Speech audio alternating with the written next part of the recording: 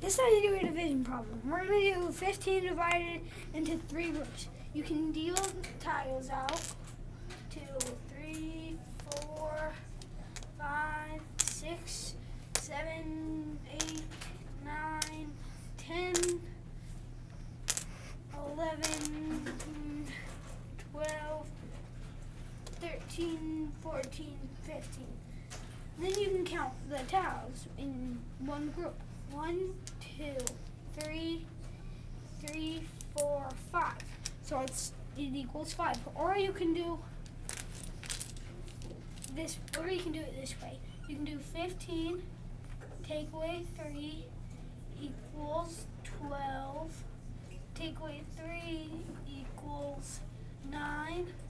Take away three equals six. Take away 3 equals 3. Take away 3 equals 0. Then you can count the take away 3's. 1, 2, 3, 4, 5. So it equals 5. That's how you do a division problem.